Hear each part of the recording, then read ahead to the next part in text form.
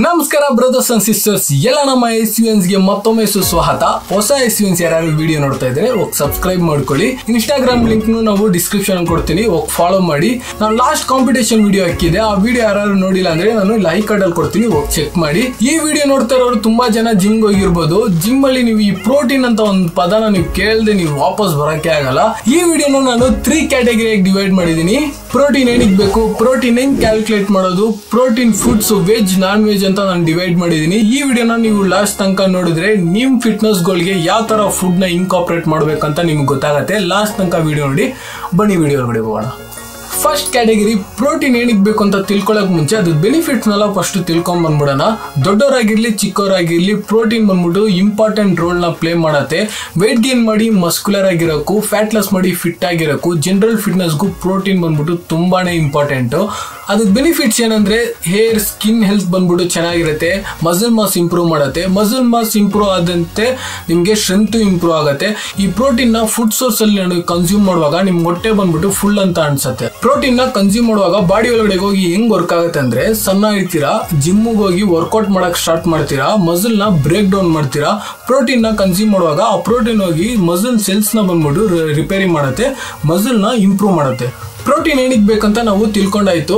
Second ಕ್ಯಾಟಗರಿಲಿ ಎಷ್ಟು quantity of protein ನಾವು ಕನ್ಸ್ಯೂಮ್ ಮಾಡೋದು, ಹೆಂಗೆ ಕ್ಯಾಲ್ಕುಲೇಟ್ ಮಾಡೋದು ಅಂತ ಇವಾಗ ನೋಡೋಣ. ಎಕ್ಸಾಂಪಲ್ಗೆ ಇವಾಗ ನಾವು ಹಂಡ್ರೆಡ್ ಗ್ರಾಮ್ ಚಿಕನ್ ಬ್ರೆಸ್ಟ್ ತಗೊಂಡ್ರೆ ಅದರಲ್ಲಿ ನಿಮಗೆ twenty five grams of protein ಇರುತ್ತೆ. ಒಂದು ಹೋಳಿಗೆಗೆ ತ್ರೀ ಗ್ರಾಮ್ ಆಫ್ ಪ್ರೋಟೀನ್ ಇರುತ್ತೆ. Each and every individual body ಟೈಪ್ಗೆ each and every protein content ಬಂದ್ಬಿಟ್ಟು ಡಿಫರ್ ಆಗುತ್ತೆ. ನಿಮಗೆ ನಿಮ್ಮ ಬಾಡಿ ಟೈಪ್ ಯಾವ್ದಂತ ಗೊತ್ತಿಲ್ಲ ಅಂದ್ರೆ ನಾನು ಟೈಪ್ಸ್ ಆಫ್ ಬಾಡಿ ಅಂತ ಒಂದು ವಿಡಿಯೋ ಮಾಡಿದ್ದೀನಿ. ಆ ವಿಡಿಯೋ ಲಿಂಕ್ನ ಬಂದ್ಬಿಟ್ಟು ನಾನು ಡಿಸ್ಕ್ರಿಪ್ಷನ್ ಅಲ್ಲಿ ಕೊಡ್ತೀನಿ ಚೆಕ್ ಮಾಡಿ.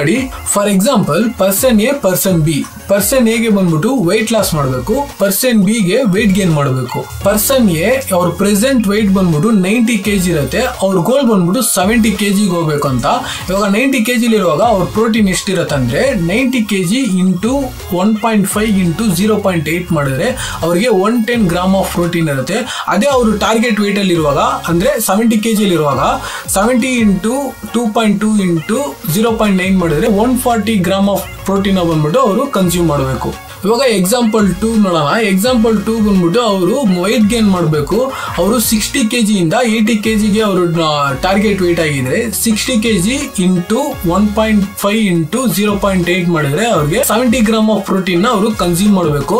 ಅದೇ ಅವರು ಟಾರ್ಗೆಟ್ ವೇಟ್ ಅಲ್ಲಿ ಇರುವಾಗ, ಅಂದ್ರೆ ಏಯ್ಟಿ ಕೆ ಜಿ ಇರುವಾಗ eighty into two into zero point eight ಇದ್ರೆ ಅವ್ರಿಗೆ one thirty gram of protein ಬಂದ್ಬಿಟ್ಟು ಅವರು ಕನ್ಸ್ಯೂಮ್ ಮಾಡೋ ತರ ಇರುತ್ತೆ. ಇವಾಗ ನಾನು ಕೊಟ್ಟಿರೋ ಈ ಎರಡೇ ಎಕ್ಸಾಂಪಲ್ ಅಲ್ಲಿ ಇನಿಷಿಯಲ್ ಸ್ಟೇಜ್ ಅಲ್ಲಿ ನಾನು ಪ್ರೋಟೀನ್ ಕಂಟೆಂಟ್ ನಾನು ಕಮ್ಮಿ ಕೊಟ್ಟಿರ್ತೀನಿ.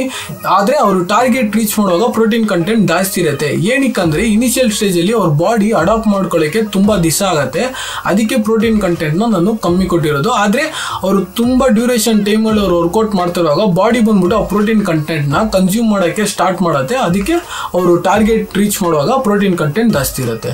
ಈ ಎರಡು ಎಕ್ಸಾಂಪಲ್ ಹೇಳಿ ಎರಡು ಇಂಡಿವಿಜುವಲ್ಗೆ ಯಾವ ತರ ಪ್ರೋಟೀನ್ ಕಂಟೆಂಟ್ ಬರುತ್ತಂತ ನಾನು ನಿಮ್ಗೆ ಕ್ಯಾಲ್ಕುಲೇಟ್ ಮಾಡಿ ಹೇಳ್ಕೊಂಡಿದ್ದೀನಿ ನಿಮ್ಮ ಪ್ರೋಟೀನ್ ಕಂಟೆಂಟ್ ಎಷ್ಟಿರುತ್ತೆ ಅಂತ ನಿಮಗೆ ಗೊತ್ತಾಗಬೇಕು ಅಂದರೆ ನಿಮ್ಮ ಟಾರ್ಗೆಟ್ ವೆಯ್ಟು ಇಲ್ಲಾಂದರೆ ನಿಮ್ಮ ಪ್ರೆಸೆಂಟ್ ವೆಯ್ಟ್ನ ಬಂದ್ಬಿಟ್ಟು ರೀಪ್ಲೇಸ್ ಮಾಡಿ ನೀವು ಕ್ಯಾಲ್ಕುಲೇಟ್ ಮಾಡಿ ನೋಡಿದ್ರೆ ನಿಮಗೆ ರಿಸಲ್ಟ್ ಎಷ್ಟು ಅಂತ ನಿಮ್ಗೆ ಗೊತ್ತಾಗುತ್ತೆ. ಪ್ರೋಟೀನ್ ಕಂಟೆಂಟ್ ಎಷ್ಟು ತಿನ್ಬೇಕಂತ ನಿಮ್ಗೆ ಗೊತ್ತಾಗುತ್ತೆ.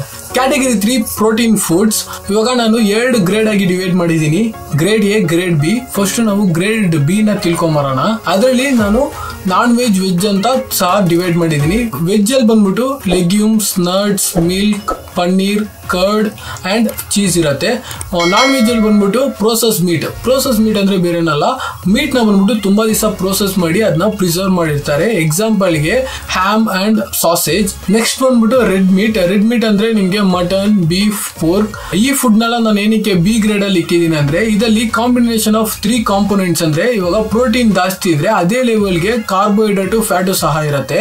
ಎಕ್ಸಾಂಪಲ್ಗೆ ನೀವು ಹಂಡ್ರೆಡ್ ಗ್ರಾಮ್ ಆಫ್ ಮೀಟ್ ತೊಗೊಂಡ್ರೆ ಅದರಲ್ಲಿ twenty five grams of protein ಇದ್ದು ಸೇಮ್ ಅದೇ ಲೆವೆಲ್ಗೆ ನಿಮಗೆ ತರ್ಟಿ ಗ್ರಾಮ್ಸ್ ಆಫ್ ಫ್ಯಾಟ್ ಇರುತ್ತೆ. ಅದು ಅದು ಯಾವ ಥರ ಫ್ಯಾಟ್ ಅಂದರೆ saturated fat recommended saturate fat ಬಂದ್ಬಿಟ್ಟು ನಿಮಗೆ ಒಂದು ಇಂಡಿವಿಜುವಲ್ಗೆ twenty gram of saturate fat ಆದರೆ ಅದಕ್ಕಿಂತಲೇ ಜಾಸ್ತಿ ಇರುತ್ತೆ ಈ ಥರ ರೆಡ್ ಮೀಟಲ್ಲಿ ಇವಾಗ ನಾವು ವೆಜ್ ಕಡೆಗೆ ಹೋದರೆ, ಇವಾಗ ಲೆಗ್ಯೂಮ್ಸ್ ಅಂತ ತಗೊಂಡ್ರೆ ನಿಮಗೆ ರಾಜ್ಮಾ ಬ್ಲ್ಯಾಕ್ ಚೆನ್ನ ವೈಟ್ ಚೆನ್ನ ಇರುತ್ತೆ.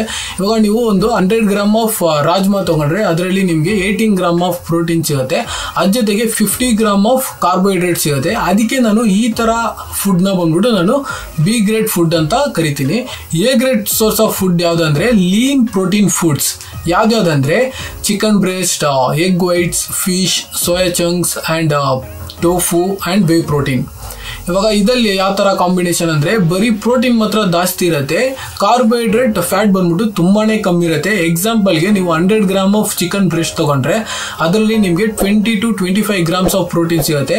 ಕಾರ್ಬೋಹೈಡ್ರೇಟ್ ಆಮೇಲೆ ಫ್ಯಾಟ್ ಬಂದ್ಬಿಟ್ಟು ಝೀರೋ ಲೆವೆಲಲ್ಲಿ ಇರುತ್ತೆ. ಅದಕ್ಕೆ ನಾನು ಈ ಫುಡ್ಸ್ನ ಬಂದ್ಬಿಟ್ಟು A grade source of foods ಅಂತ ಕರಿತೀನಿ. Lean protein source foods A grade food B grade food ನಾನು ಬರೀ ಎಕ್ಸಾಂಪಲ್ ಮಾತ್ರನೇ ಒಂದು ಸ್ವಲ್ಪ ರ್ಯಾಂಡಮ್ ಆಗಿ ನಾನು ಪ್ರೋಟೀನ್ ಕಂಟೆಂಟ್ ಬಗ್ಗೆ ನಾನು ತಿಳಿಸಿದ್ದೀನಿ ಇವಾಗ ನಿಮ್ಗೆ ಇದಲ್ಲಿರೋ ಎಲ್ಲ ಫುಡ್ಗೂ ಪ್ರೋಟೀನ್ ಕಂಟೆಂಟ್ ಎಷ್ಟೆಷ್ಟು ಇದೆ ಅಂತ ನೋಡಬೇಕಂದ್ರೆ ಒಂದು ನೀವು ಗೂಗಲ್ ಸರ್ಚ್ ಮಾಡ್ಬೋದು. ಇಲ್ಲಾಂದರೆ ಕ್ಯಾಲ್ರಿ ಟ್ರ್ಯಾಕಿಂಗ್ ಆ್ಯಪಲ್ಲಿ ನೀವು ತಿಳ್ಕೊಬೋದು. ಯಾವ ಥರ ಆ್ಯಪ್ಸ್ ಅಂದರೆ ನಿಮ್ಗೆ ಹೆಲ್ತಿ ಫೈಮಿ ಆ ಥರ ಆ್ಯಪ್ಸ್ಗಳಿದೆ ಅದ್ರಲ್ಲಿ ನೀವು ಆ್ಯಡ್ ಮಾಡಿ ಫುಡ್ನ ಆ್ಯಡ್ ಮಾಡಿದ್ರೆ ನಿಮಗೆ ಎಷ್ಟು ಕ್ಯಾಲ್ರಿ ಎಷ್ಟು ಪ್ರೋಟೀನ್ ಅಂತ ನಿಮಗೆ ಗೊತ್ತಾಗುತ್ತೆ. ಇವಾಗ ನಿಮ್ಗೆ ಏನು ಮಾಡಬೇಕಂತ ಗೊತ್ತಿಲ್ಲ ಅಂದರೆ ನಾನೆಲ್ಲ ಈ ತ್ರೀ ಸ್ಟೆಪ್ಸ್ನ ಬಂದ್ಬಿಟ್ಟು ನೀವು ಫಾಲೋ ಮಾಡಿ.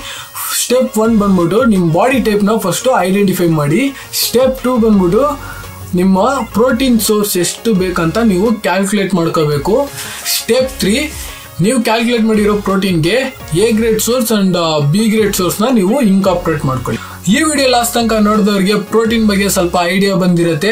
ಈ ವಿಡಿಯೋ ನಿಮ್ಗೆ ತುಂಬಾ ಇಷ್ಟ ಆಗಿದ್ರೆ ಲೈಕ್ ಮಾಡಿ. ಇದೇ ತರ ಇನ್ಫಾರ್ಮೇಟಿವ್ ವಿಡಿಯೋಸ್ಗೆ ಎಸ್ ವಿ ಬ್ರದರ್ಹುಡ್ನ ಸಬ್ಸ್ಕ್ರೈಬ್ ಮಾಡ್ಕೊಳ್ಳಿ.